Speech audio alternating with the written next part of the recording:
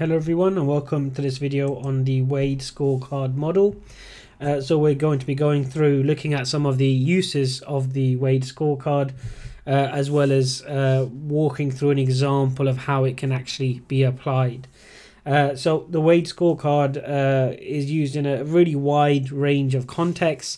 Uh, anytime that you really need to make a decision uh, where you have different criteria for making that decision, uh, but the criteria are not all equal. So some criteria are more important than others. Uh, so it can be used in, in a really wide range of uh, business decision making scenarios. Uh, but one of the ones that we're interested in, obviously, uh, is during a project business case. Uh, where you have a range of uh, different possible options uh, to address your underlying uh, problem or reason for running the project. Uh, and you want to make a, a logical and well reasoned decision, but you want to do so in a way that makes your reasoning quite clear, uh, tries to be uh, as balanced uh, uh, as possible uh, and also uh, make sure that you have it documented. So it's not just an internal reasoning process but you've externalized it you've captured it in a business case and therefore you can revisit it if any of the information actually changes to reevaluate your decision. So there's a, a, range of things that we need to do in order to apply the model and actually create our own uh, uh, uh, scorecard. Uh, but what the key thing that we have to do, as well as having our different options, uh, is have a clear uh, criteria for your selection. So you need to have a clear list of uh, requirements and a clear uh, understanding of which of those requirements are, are more important versus others. just a few things before we go on and run through an example. Uh, remember that it may appear to be quantitative and mathematical and, and, and definitive, uh, but really it's a qualitative tool. Uh, so it helps us organize our thoughts, uh, it helps uh, present a reasoned case for a decision to others. But how strong that decision is and how strong that recommendation is is really dependent upon uh, the uh, weighting and the scoring that you actually have, uh, as well as the information you put into the model. Uh, so the the kind of programming um, uh, saying of garbage in, garbage out applies here as well. If you put poor quality information and poor quality reasoning into the model, uh, then the output you're going to get from the model is going to be poor quality. So you need to have strong reasoning and good, strong information that you put in uh, in order to get a strong, balanced decision coming out of the model. So the example that we're going to use, uh, we're going to take a project and, and develop a weighed scorecard uh, for use in the business case. Uh, so the underlying problem that this project is addressing uh, is that COVID 19 means that most employees uh, for this particular company are working from home, uh, and the IT provision desktop computers uh, that would typically be used on site now, staff have taken them in varying degrees off site. Uh, have to be augmented with other means of, of allowing staff to access secure systems and secure data platforms from remote locations. Uh, and we see that staff have asked for uh, access from mobile devices as well. Uh, so there's a decision that needs to be made here about how staff are going to be allowed additional access uh, to secure systems and data. Uh, previously, the expectation would have been just to use them on site. Uh, so just to use your, your IT provision desktop computer uh, within the office uh, to access secure systems, and you wouldn't be allowed to access them from your home. But because of the COVID 19 pandemic, uh, now we have a problem here that that previous system is not working well because staff are now working remotely and working from home uh, and still need access to, to secure systems and secure data platforms. Uh, so that's the problem that we're addressing in this project. And the first thing we need to do uh, before we go on and, and create our, our weighed scorecard uh, is actually identify the stakeholders uh, and look at the requirements uh, that they have. Uh, so we can identify three major stakeholder groups. Uh, so we have the users that are the employees that are actually using or would be using the new system. We have the IT department that has to actually implement, train, and run the new system. Uh, and we have management who are going to pay for the system uh, as well as uh, uh, have the, the right checks and balances in terms of the governance of both the project but also of the ongoing operation once the deliverable is handed over uh, to the business as usual operations uh, people.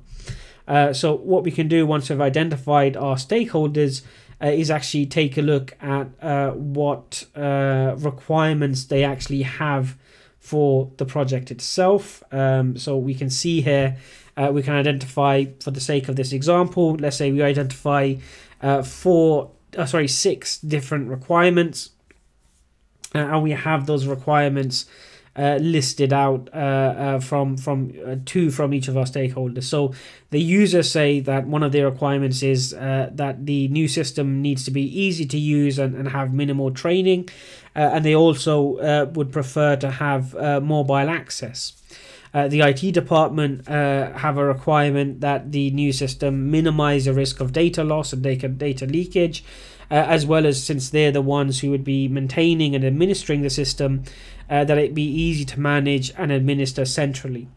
Uh, and then lastly, management have also added two requirements uh, that you try and control the cost of the project uh, since they're the ones that will be paying for the project. They, they don't want uncontrolled or excessive costs. And also, they don't want to have a reoccurrence of this occurring within the next two years. Uh, so the project has to, at minimum, solve the problem uh, uh, largely for at least two years uh, before they want to potentially look at, at changing, improving, or, or authorizing additional resources. So we can take these uh, and actually arrange them into a list of requirements, and what we can also do is decide uh, how important each requirement actually is. Uh, and this is at the core of the weighed scorecard model. Uh, it's for when we have lots of different requirements, lots of different criteria for selection, uh, but not all of this criteria is uh, is is exactly the same. Uh, so we can assign different point values. So let's say we're, we're working here from a 10 point system, and 10 being the most important and 1 being the least important. Uh, so we can rearrange our list of requirements into a list of descending importance. So the most important we've decided uh, is to minimize the risk of data leakage and data loss. So because we're dealing with secure data systems, secure data platforms, um, let's say this sensitive, confidential data, uh, maybe is critical for the organization to make sure that that data isn't accidentally shared or lost. So we'll give that 10 points. Preventing the problem reoccurring uh, for the next two years. Let's say that's nine points. It being easy to use, eight points. Easy to administer, seven points. Controlling cost, six points. Uh, and then lastly, because it's not necessarily the most important thing for us uh, as a project, so looking as a project sponsor and the project manager, uh, mobile access being preferred is the uh, the least important of our different criteria for selection. So what we would do then is put this into a table uh, and we have uh, uh, an example here of a, a, a basic weighed scorecard. Uh, so we have a column uh, with our requirements, uh, we have a column with our weighting, and then we have our two different options. So for the sake of this example, you would traditionally also have a do nothing option, but for the ease of, of understanding this, we're just going to have bring your own device. Uh, so we're going to allow uh, people to use their own lab laptops, their own tablets, their own phones, uh, and allow a, a remotely managed uh, solution. So Samsung Knox has a, a solution. You have Active Directory, uh, Google Apps, Google Workspaces. So you've got different uh, solutions that allow the the users to use their own personal devices uh, but to have a, separate segregated uh, access for, for data and, and email and so on. Uh, and the second option is to uh, issue company phones to everyone, uh, and those phones are centrally managed and, and centrally administered by the IT department. Uh, so we've got two clear different options that we're considering in this weighed scorecard. Uh, again, remember that if you're doing your own weighed scorecards for a uh, project business case, you'll want to have a do nothing option there as well. But what we can do is simply here uh, apply uh, different scores. So this is a bit where the qualitative bit really comes in, uh, where uh, it looks very mathematical, but it is based on a qualitative judgment.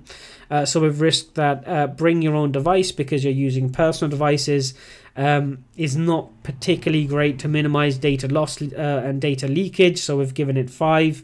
but if we're using company phones, we can't completely eliminate the risk of data leakage or data loss uh, but we can say it's is greatly reduced if we're using company issued phones. Uh, so we'll give that nine, and so on. So uh, all of these for all of the requirements we can score out of ten. The thing is, though, this doesn't give us a weighed understanding. So, in order to make it a weighed understanding, uh, we simply take the score that we've given out of 10 and multiply it by the weighting. Uh, that means that the, uh, the the most important requirement, the minimizing the risk of data leakage and data loss, uh, is going to be scored much higher, and in fact twice as important as the least important requirement, which is mobile access preferred. Uh, so we can see here that we simply take the score, we multiply it by the weighting for that requirement. So for bring your own uh, device, where we scored that as five, because the weighting for that requirement is 10 we do 5 multiplied by 10 to get a score of 50 uh, and we can do this for every individual item. So we look at it for company phones. Uh, we scored that 9 uh, since that particular requirement is weighed at 10 points uh, we can uh, get a score there of 90 so 9 multiplied by 10 uh, and then for the next one, stop recurrence of the problem for the next two years. That's a weighting of 9. So 10 multiplied by 9 is 90 again. 8 multiplied by 9 is 72. Uh, so you take each score you've given, multiply it by the weighting, and then that gives you uh, a weighed score for each particular option and each particular requirement. And once you have your weighed scores, uh, you can simply go ahead uh, and add them up. Uh, so we have here, if we add up the bring your uh, device option and the company phones option, uh, the bring your own device totals to 330 uh, and the company phones uh, option totals to 338. Uh, so that allows us to see that if we have put in the correct information, made the right judgments, uh, and also made sure that we've weighed each of our requirements properly, uh, the preferred option, uh, as demonstrated through the uh, the balanced, uh, sorry, the weighed scorecard, uh, is that of a company phone being used to solve the problem. So that would then be the preferred option that's being recommended, and the rest of the business case would would proceed with a justification and an argument for running a project to issue uh, all employees with company phones.